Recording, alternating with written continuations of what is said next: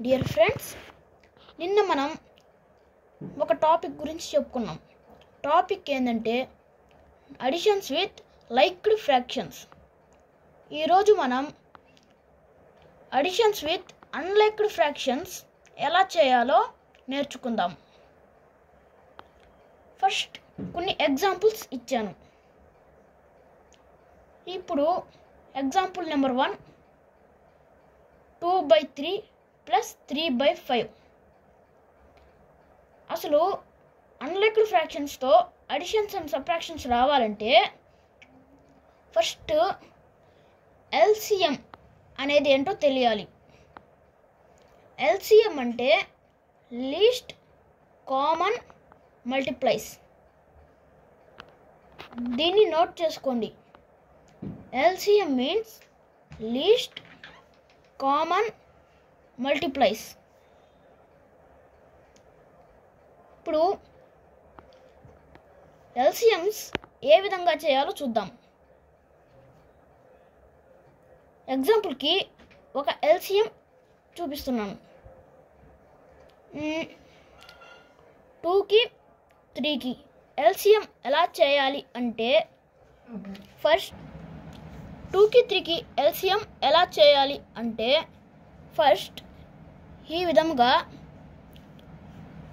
ఒక L shape లాగా ఉండే ఒక ఆకారాన్ని గీసుకొని ఇక్కడ టూ త్రీ ఏ టేబుల్లో అయినా సమా ఒకే టేబుల్లో పోతున్నాయో లేదో చూ చూసుకోవాలి. రెండు ఎలా ఎలా అంటే ఫస్ట్ టూ త్రీ ఒకే టేబుల్లో కావు కాబట్టి వాటిని డైరెక్ట్ మల్టిప్లికేషన్ చేయాలి. Two into three is equal to six. ఒకవేళ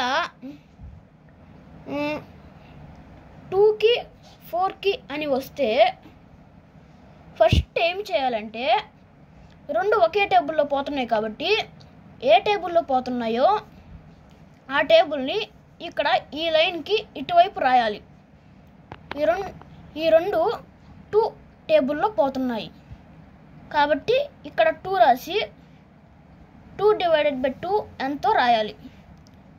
One four divided by two ఎంతో రాయాలి. టూ సో ఇంకా ఈ రెండు కూడా ఒకే టేబుల్లో పోతున్నాయో లేదో చూసుకోవాలి. ఈ రెండు ఇంకా ఏ టేబుల్లోని పోవట్లేదు కాబట్టి ఈ టూని ఇంటూ ఈ వన్ని ఇంటూ ఈ టూని మల్టిప్లికేషన్ చేయాలి. Two into one two two into two four. కాబట్టి ఆన్సర్ ఫోర్ అవుతుంది. ఇప్పుడు అదేవిధంగా ఈ two by three plus three by five ఎలా చేయాలో చూద్దాం.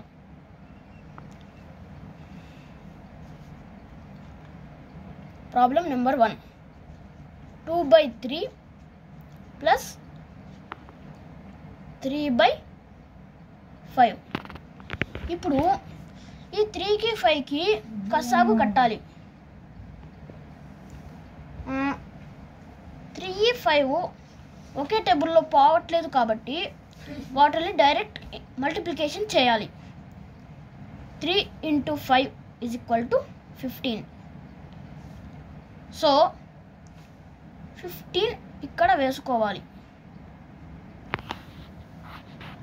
ఇక్కడ దానిపైన బై పెట్టుకొని ఇక్కడ టూ అని ఉంది.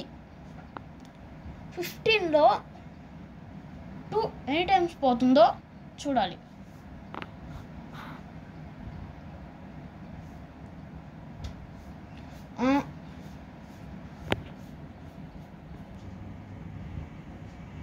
ఇక్కడ ఫిఫ్టీన్ త్రీలో ఎనీ టైమ్స్ పోతుందో చూడాలి. Any times? Fifteen?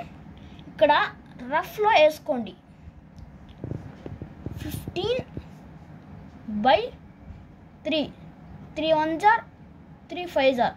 Five times పోతుంది కాబట్టి ఫైవ్ ఇంటూ న్యూమరేటర్లో టూ ఉంది కాబట్టి five into two is equal to ten అవుతుంది.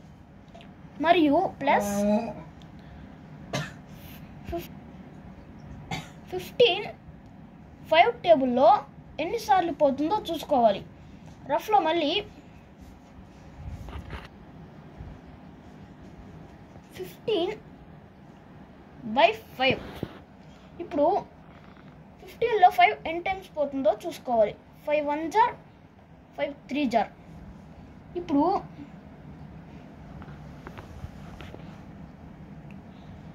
ఎన్ని టైమ్స్ పోయింది?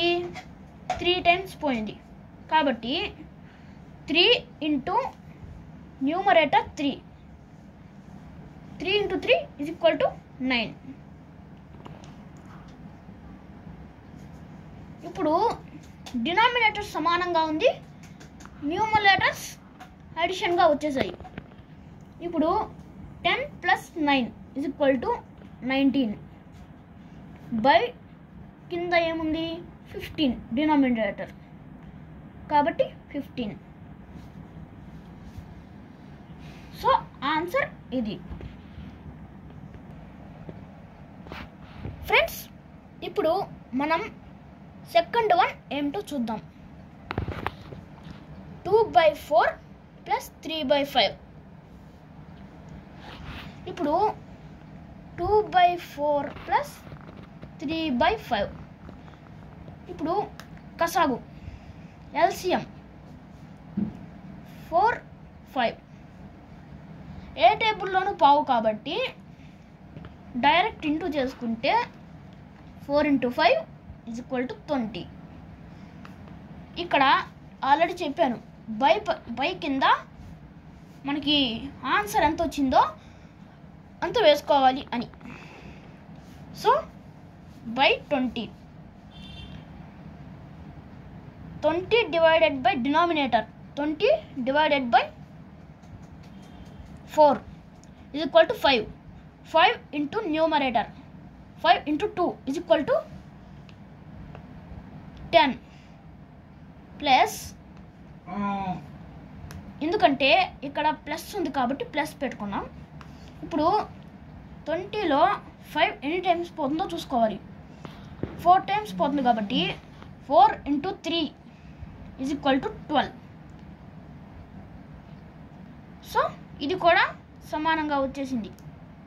ఇప్పుడు ten plus twelve is equal to twenty two by twenty so దీనికి ఇది ఆన్సర్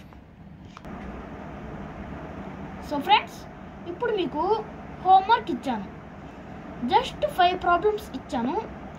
వీటిని మీరు నిన్న చెప్పినట్లుగానే మీ ఇంటి దగ్గర మీ సొంతముగా వేసి